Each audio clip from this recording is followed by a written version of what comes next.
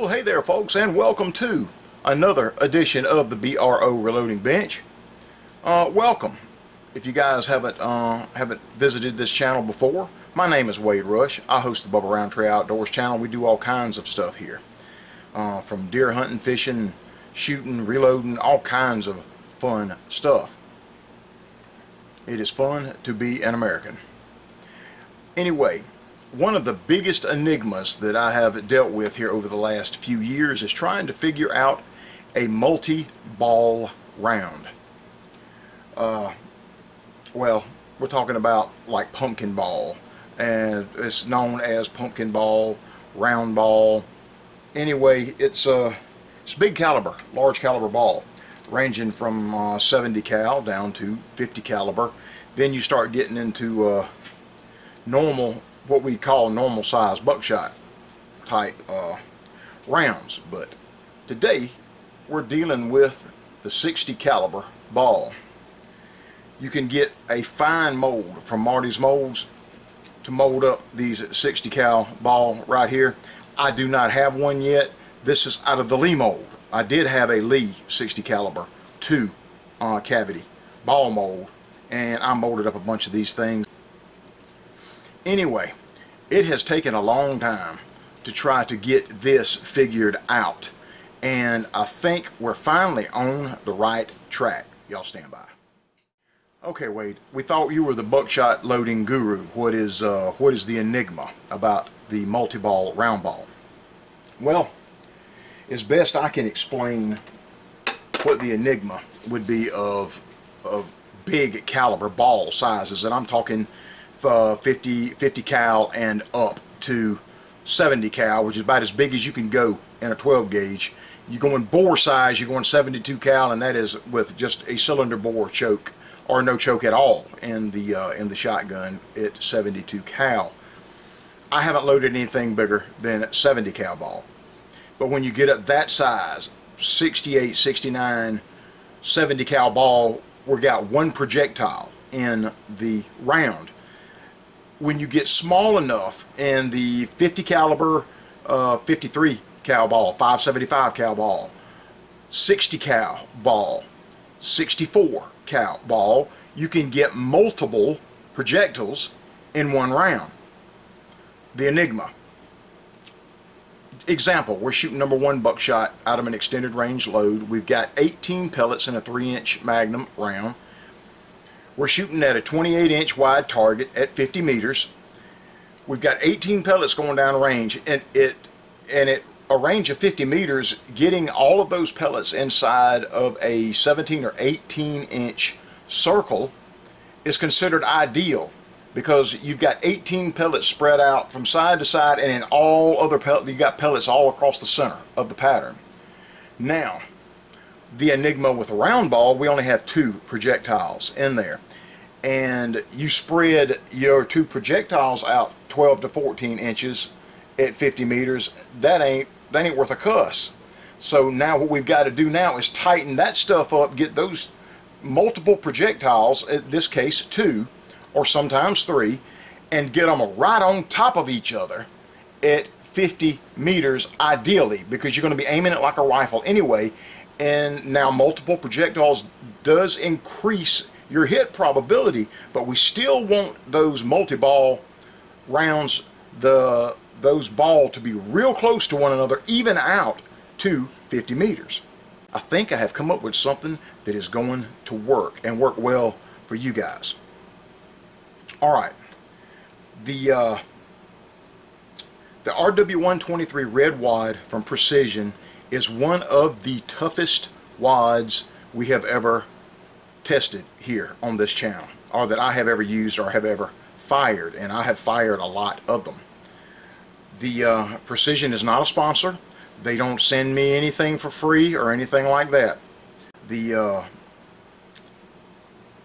the RW123 wad is outstanding. It is the best performer in this load.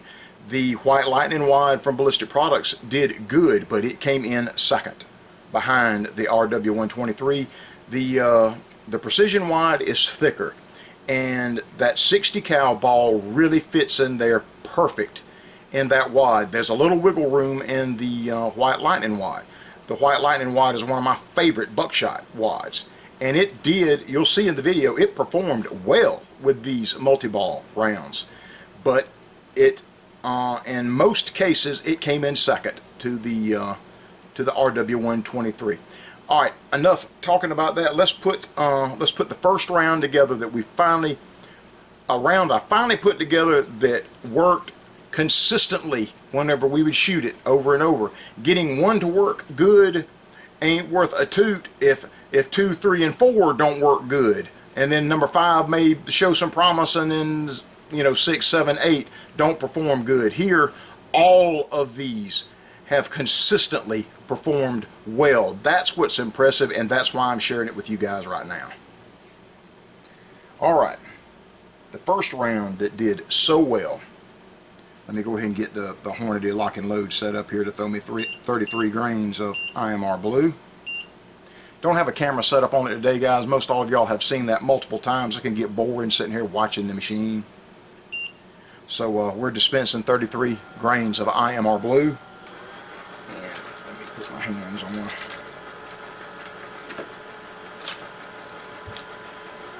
I hope you can still find some of these. Hulls have been almost impossible to find. Ballistic Products sells out of them almost as soon as they get them. Then it gets harder and harder to find them anywhere. But uh, a few, a month or six weeks ago, they had some some new primed Cheddite hulls in stock. I was able to pick up a few bags of these. So we got 33 grains of IMR blue coming off the machine here.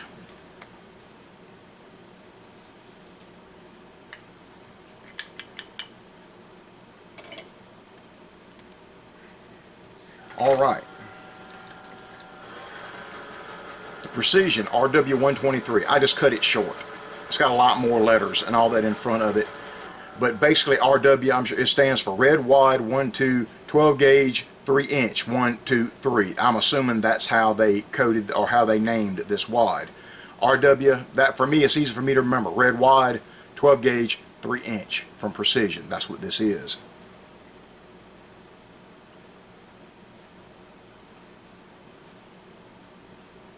Okay, I love how you can see through these clear hulls. Now, this is a 20 gauge FC20 20 gauge fiber cushion wad. Right here, Ballistic Products has plenty of these, if, if they have some in stock. Now, half inch, we need to push this down into the base of this wad. Now, this isn't, see this, this isn't a cinch. I can push it in there about that far easily with my hand. Then we're going to have to get something, it's just an old marker that I use a lot, and press it down into the base of this wad.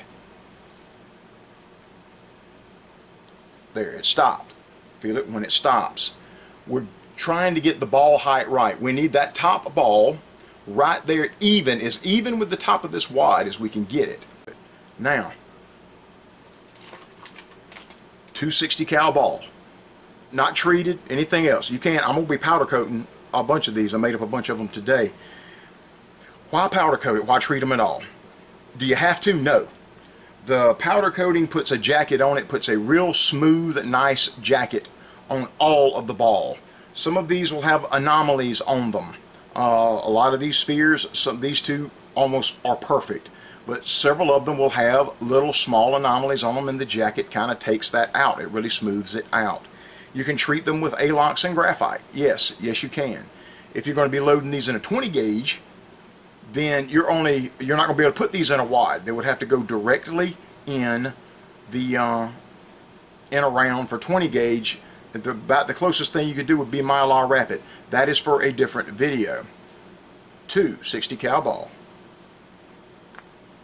Now, to get efficiently to get the the Ballistic Products original buffer in here on this, we've used both the Precision spherical buffer from Precision and we've used Ballistic Products original with equal equal results. They you can't tell one from the other. They both work equally well. We've shot a few without the buffer. They don't tend to hold as tight together without the buffer. My, my guess is the ball are deforming more in the rounds where we do not put buffer in even around these big ball rounds. So I've got one ball dropped in here. I'll get just a little bit, scoop up just a little bit of Ballistic Products Original and sprinkle it in here and shake the ball around until see it is just barely covered. Okay, now we'll drop the other ball in on top of it. You see what I'm talking about? It's just about perfectly level with the top of this RW123 wide. Now, we sprinkle a little bit more buffer in there and we just keep shaking it around. The ball doesn't fit in there tight. It doesn't fit in there tight at all. That's why we're putting the buffer in. Keep shaking it around. See, the buffer keeps settling in.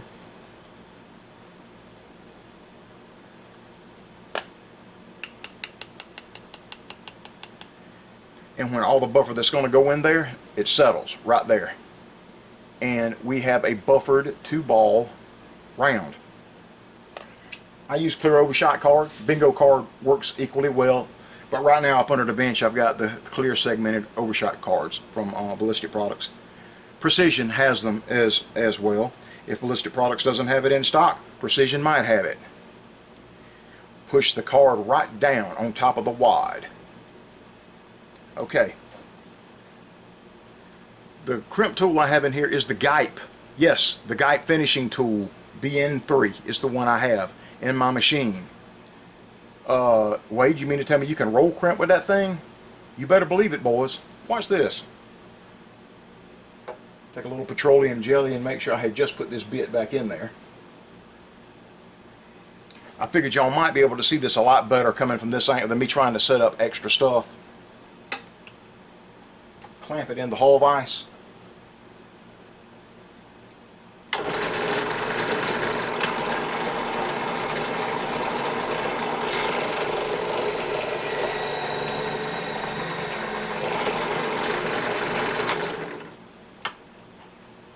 Yeah, that's the finishing tool for the crimp finisher. Look at what a job. Not only does it do an excellent job roll crimping your round, look at the taper it puts a beautiful taper on the end of that roll crimped round so that it feeds really efficiently and effectively in your autoloaders and your pump guns. Yeah. And there's your round. 33 IMR blue, RW123 red wad, a one half inch 20 gauge fiber cushion wad pressed into the bottom, two 60 cal ball, Anyway, not only does it look good, let me take you to the range and show you how this performed. Okay folks, I finally got, we got two 60 cal ball in here. And you see that's the RW123 red wide from Precision. Now, God, these things are tough. They're some of the toughest some of the toughest wads I've ever shot. And uh, we've got these 260 cal ball weigh 1.5 ounces, folks. And we're pushing this whole setup here with 33 grains of IMR blue. And we've got it covered in precision spherical buffer around here. I've got, let me see, what have I got for a cushion? I got half inch 20 gauge paper wide pressed in the bottom of this RW123 to get the ball at the right height in these holes to roll crump them with a clear over segmented overshot card. And we continue to be at 55 yards or 50 meters dove shoot going on in the field right here next to the farm. All right, I can make that work. There we go. All right, I'm gonna go ahead and shoot a two-shot group with these 260 cal ball.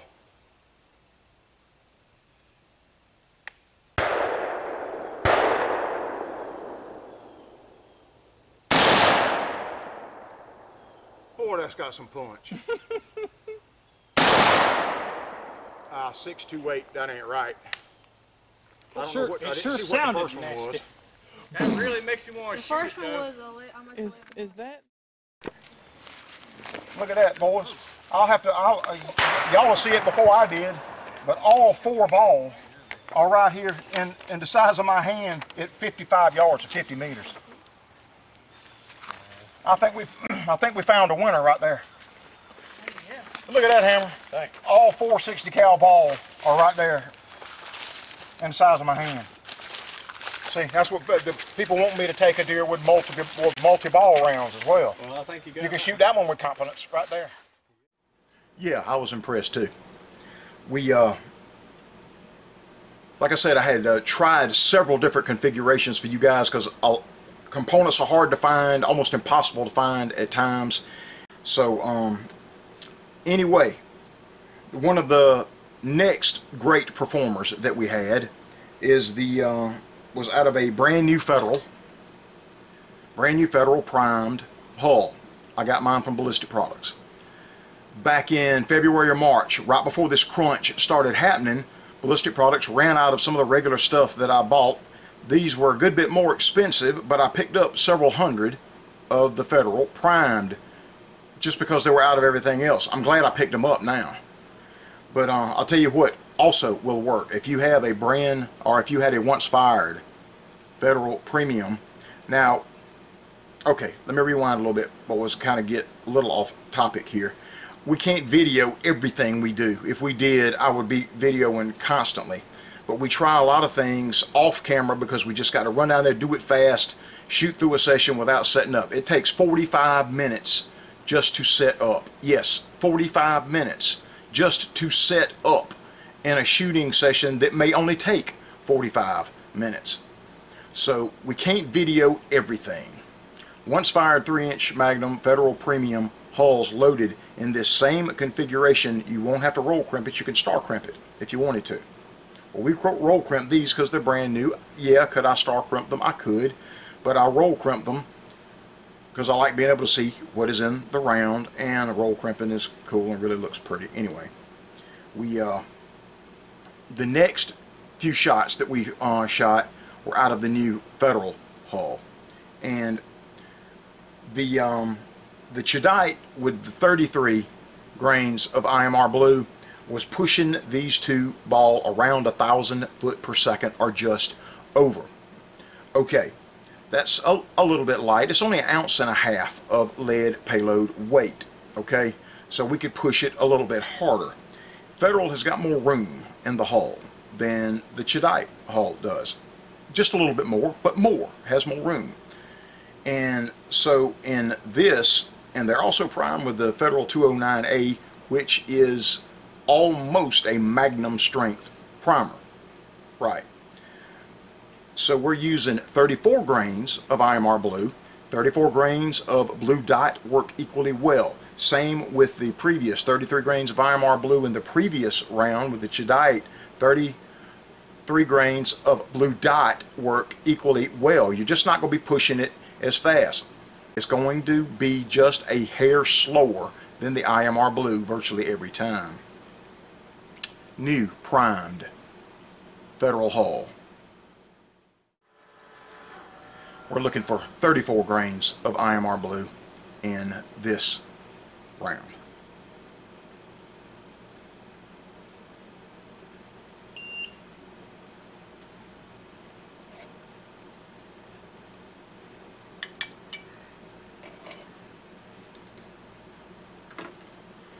We also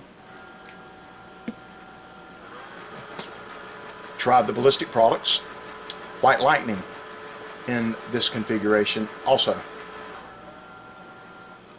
It did well.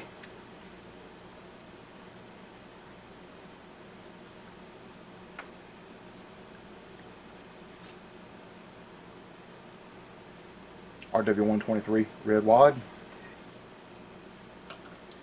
fiber cushion, half inch 20 gauge, fiber cushion wad, half inch.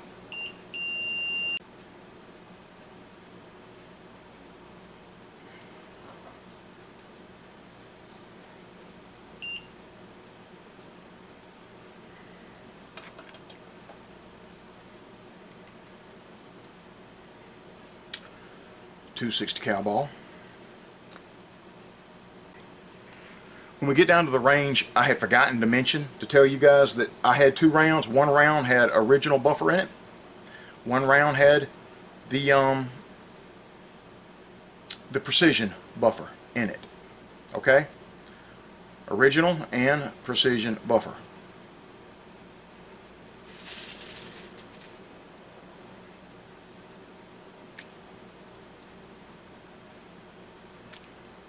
Clear overshot card.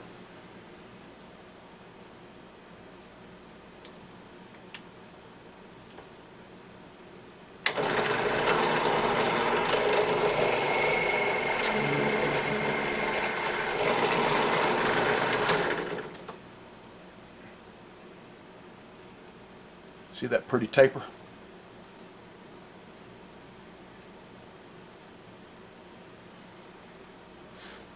That is a beautiful round. Not only does it look good, let's go down to the range and show you how it performed. Well, folks, I got pretty excited the other day. Well, You know, we've been working a long time on trying to get some consistency out of multi-ball rounds. And we got what looked like is going to be a dang good performer. Um, y'all should have already seen that shot here before we get to this is a different day, later date. We've got some other ones loaded up that we're checking. I've got a brand new Federal primed hull from Ballistic Products that you may never see again. We've got 34 grains of IMR blue in this one. We have the RW123 red wad from Precision with a half inch fiber 20 gauge nitrocard or with a half, in, half inch fiber cushion wad pressed into the bottom of the RW123 wad to get the correct height uh, for the ball and we did cover this in original buffer and roll crimped it with a clear segmented overshot card. We are at 50 meters or 55 yards. We're going to shoot a two-shot group of this. Then we're going to shoot the exact same data using the Ballistic Products White Lightning wad and and see how uh, what kind of grouping we get with the 260 cal ball, which is one and a half ounces of lead payload weight. And folks, we got the buck kicker choke installed standard full butt kicker choke, which is 695 constriction. If you got to adjust that, that bow of that thing again, Hoss, you can go ahead and do it. But, but just aim dead center. 1126.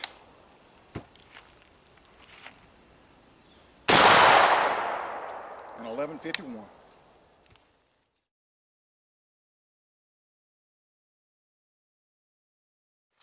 Well, you, you folks will have already seen the configuration of how to hit. But anyway, that doesn't matter. We are totally tickled with that setup. Look at that. And that's a, that's a different hole and uh, same wad. I'm, I'm curious of how the Ballistic Products wad, the White Lightning wad will do. And so uh, let's try that one with the same Federal, brand new Federal hull with the White Lightning wad and see what kind of grouping we get with that. Folks, just reiterating, exact same first shot, 34 grains of IMR blue. We've got two 60 cal ball that are three quarter ounce each in here.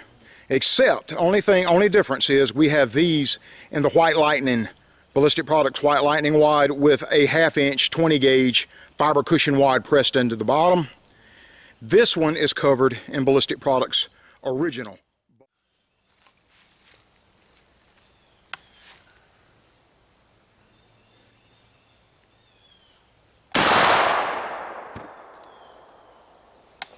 buckshot?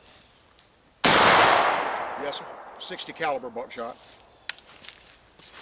260 cal ball. Oh, the ball. 260 cal ball. But it's buckshot. You said is it buckshot? Yes, it is. It's 260 cal ball. They weigh three quarters of an ounce apiece. like the hose right over the bull.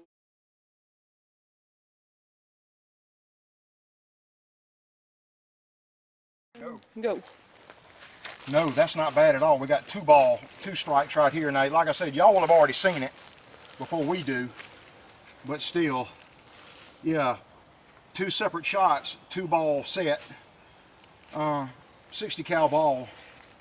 That's eight, nine inches from one to the other with all four ball. We've got some once fired holes that I loaded some in, and I think we got uh, trying some with the uh, with the same RW123Y, but in a once fired Remington Express. And we'll see how that holds up. Once fired, Remington Express. Y'all finally ran Mr. Bill Kalwas out of hulls. I never thought I'd see it happen. I've known Mr. Kalwas for years. Uh, found him on Gunbroker years ago. Been, uh, he was my primary source of 3 inch once fired hulls in both 20 and 12 gauge. Anything you wanted, he had it. Well, as the crunch settled in this year, you guys completely ran him out of holes. But uh, anyway, once fired, Remington Express, one of my favorite hulls to reload. We're going to install a CCI, standard CCI primer.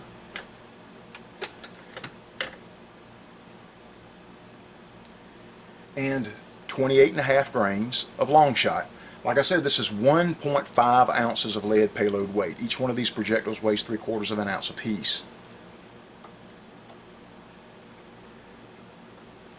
My Lee powder measure here is set up to throw 28 and a half grains of long shot. That's one of my favorite buckshot charges. For 1.5 to 1.65 um, lead payload weight. All right. And like I said, we also tried the uh, the white lightning wad in these, and it worked good. RW123 red, 20 gauge fiber cushion half inch wad. I'm what here before. I push it down in the hole, get it started here and we kind of push it all in here together.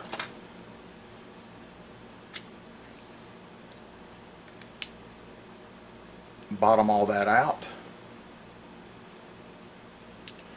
Wad is just below the crimp. The white lightning wad will come right up to the, the crimp. White lightning uh, wad is just a hair longer than the precision wad.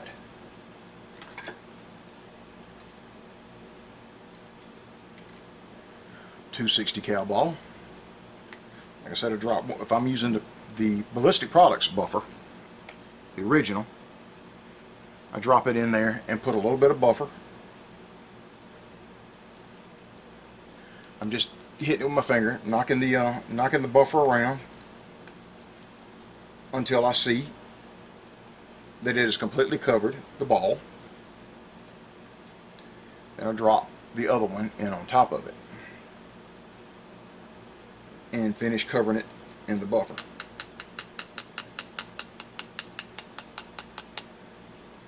Just like that. And maybe y'all can see the 650 okay.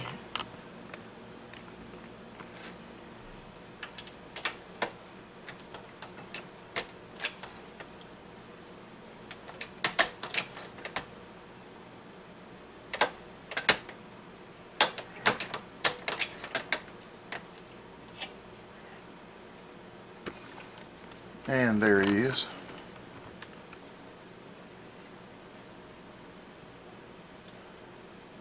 So when the crimp is that good, you really don't need to put the finishing crimp on it, but you can.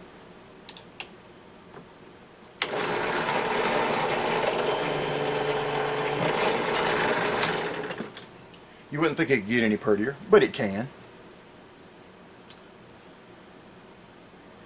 That is awesome. Alright, let's go to the range and show you how these did. Alright boys, this is one I was telling you about. Once fired, Remington Express hull. We got a CCI primer in here, 28 and a half grains of long shot, because like I said, we got one and a half ounces of total lead payload weight with the 260 cal ball. We've got the Precision RW123 red wad with a half inch uh, 20 gauge fiber cushion wide pressed into the bottom of the RW123 red wide and we have them covered in original buffer and these are just regularly star crimped. All right, here we go.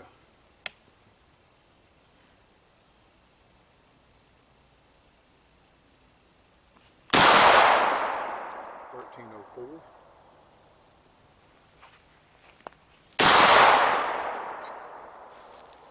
Eleven 1977. I ain't used to these two shooters.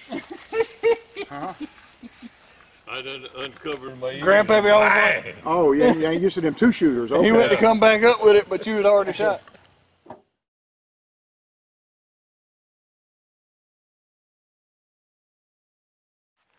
Dang, boys, I, I would have to say I'm happy with that too. Y'all have seen the strikes before I have, but uh, but but any way you look at it, whether that was a strike and that was another one, or it was this and this, didn't make any difference. See, like I said, if you're aiming for the vitals, if that one would have missed him, then any of the other um, 60 caliber ball would have got him. And that 160 cal ball, heck, 128 caliber buckshot's enough to kill one uh, a 60 cal ball, I'll knock him off his feet. All right, that's awesome. Well, there you go, folks. I appreciate y'all hanging out with me this evening, this morning, or late in the middle of the night, whenever you guys get a chance to, to sneak in a video or two. Appreciate you hanging out with me this long, guys. If, uh, if you learned anything and you would like to become a patron and help support this channel, I guarantee you YouTube is not going to allow me to make any money on this video whatsoever because it has firearms related content. So if you'd like to go over to Patreon and sign up to become a patron to help support this channel, just head on over. The link will be in the description. And uh, we've got some really good patrons that are already with us. So if you guys would like to help support the channel, you can do that for as little as a dollar a month to help support the channel. And we appreciate all the support that we can get, guys. So until next time, this is Wade, host of the Bubba Rountree Outdoors channel. Hope y'all enjoyed this episode of the BRO Reloading Bench. We'll be back with a lot more very soon. Bye-bye.